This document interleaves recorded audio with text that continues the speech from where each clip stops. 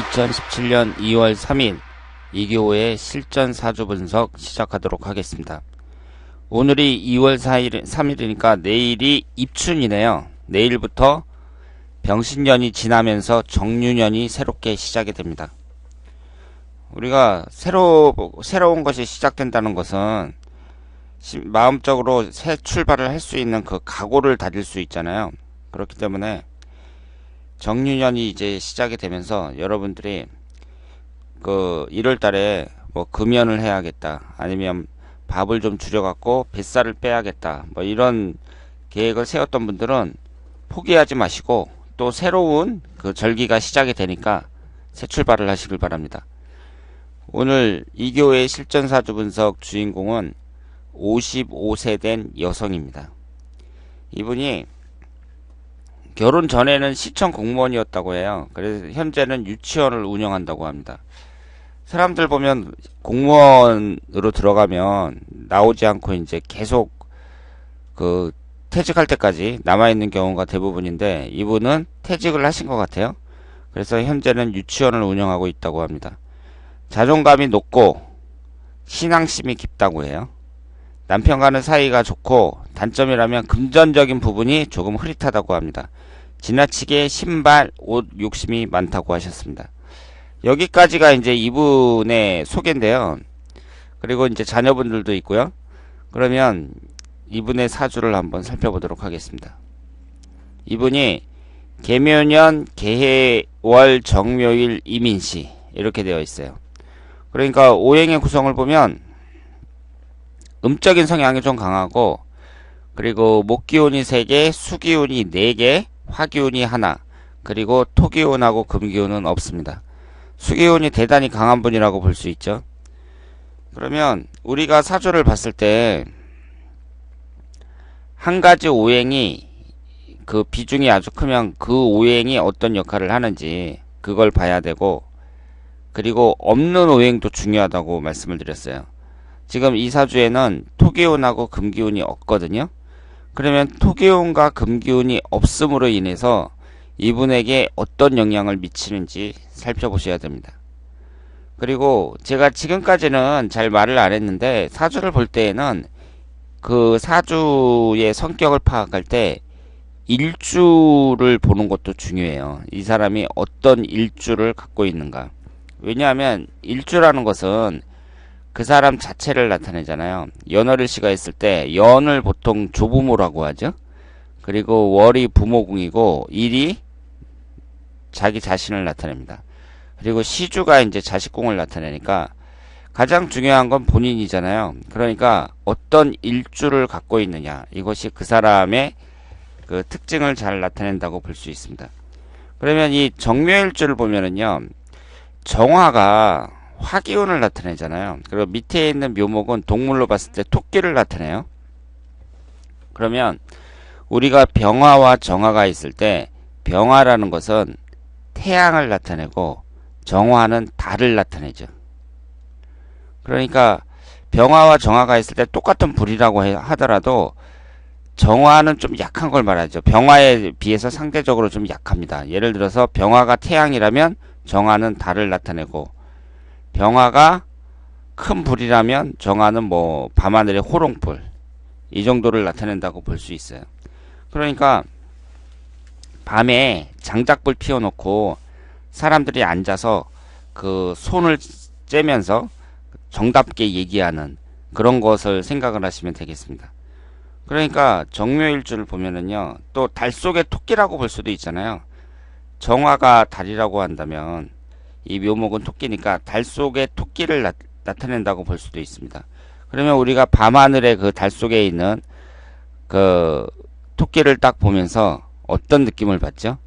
좀 정다운 느낌을 받, 받습니다. 그러니까 이 정묘일주를 보면은요, 그 이미지 자체가 좀 가깝고 정, 정, 정겨운 그런 이미지를 나타낸다고 볼 수 있습니다.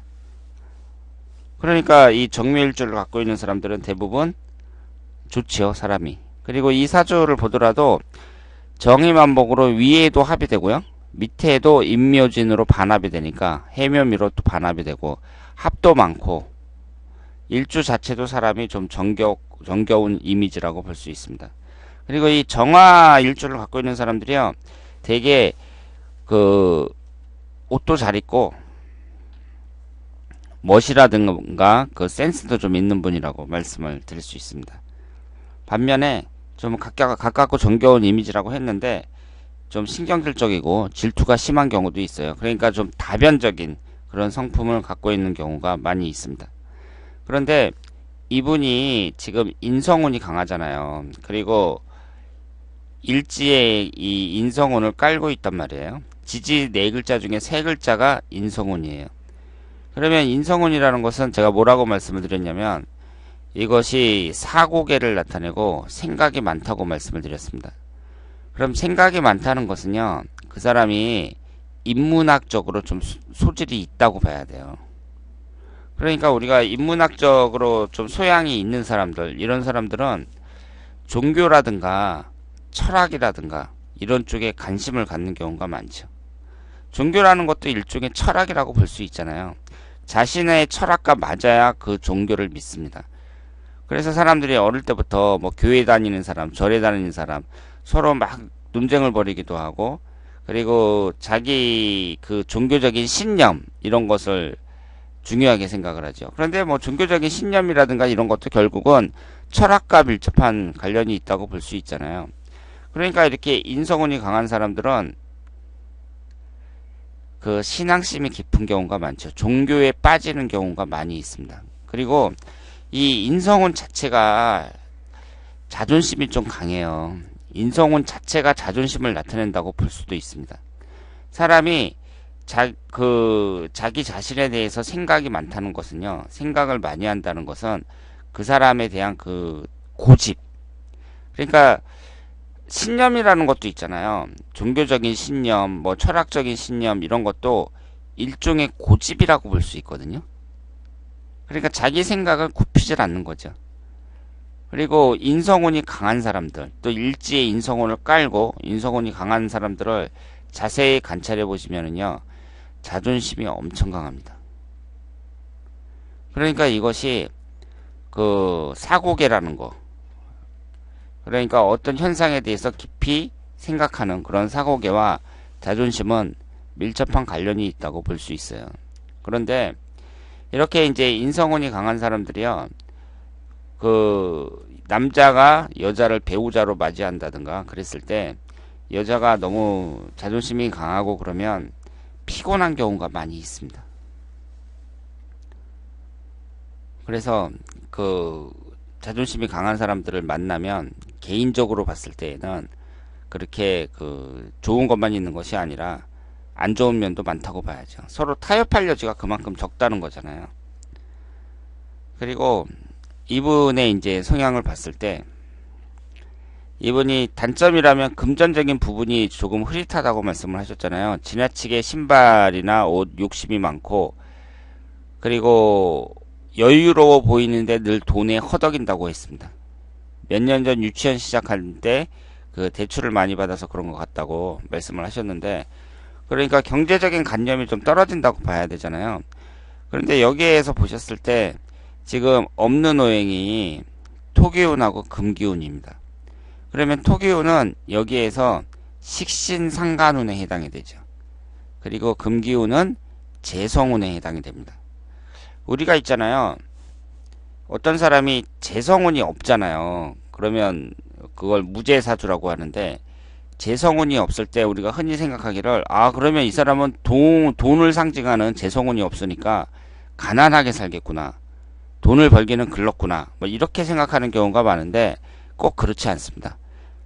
재성운이 없는 사람들도요. 사주에 식신상간운이 잘 자리를 잡고 있고 그리고 흘러가는 대운에서 재성운이 딱 들어오잖아요.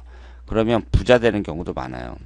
그러니까 우리가 돈을 버는 데 있어서 물론 재성운 자체가 돈을 나타내지만 돈을 벌려면 식신상간운이 잘 받쳐줘야 됩니다.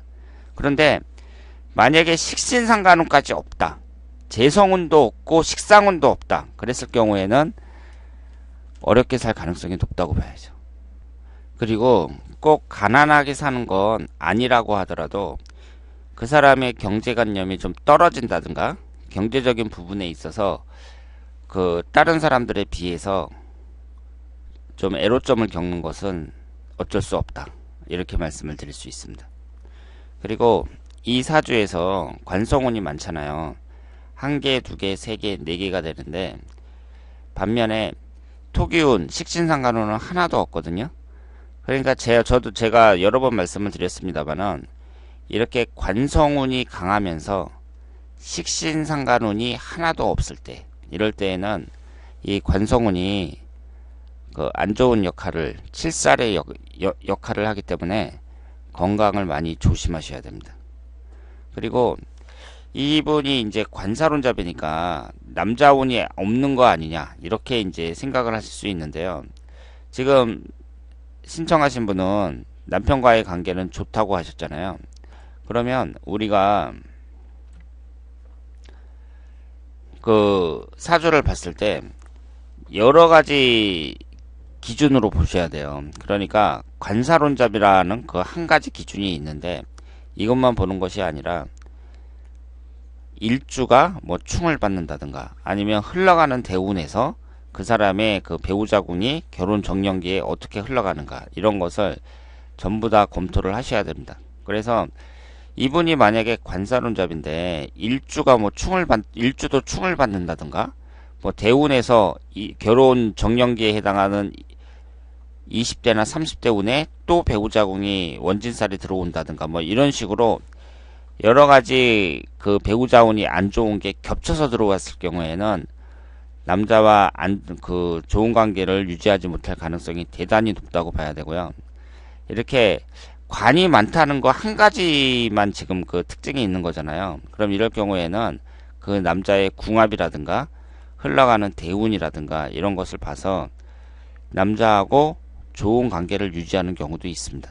그런데 이분 같은 경우에는요, 어쨌든 그 관이 너무 많으니까 그리고 이 관이 이쪽으로는 합의되는데 이쪽으로는 또 충이 되잖아요. 그러니까 배우자와의 관계도 그 외부인이 볼 때에는 좋다고 하지만 나름대로는 애로점이 있는 그런 사주라고 볼 수 있겠습니다. 그리고 병신년이 이제 묘신 원진살이었고 올해가 묘유충으로 일치가 깨지잖아요. 그러니까 올해 같은 경우도 좋은 해라고 볼 수가 없죠. 그래서 앞으로 금전운이 풀릴지 궁금하다고 말씀을 하셨는데요.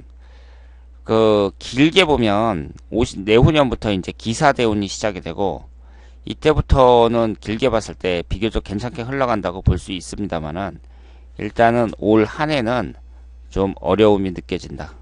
이렇게 말씀을 드릴 수 있겠습니다. 자 그러면 오늘 이교의 실전 사주 분석 여기서 마치겠습니다. 오늘 하루도 즐겁고 행복하게 보내시길 바랍니다.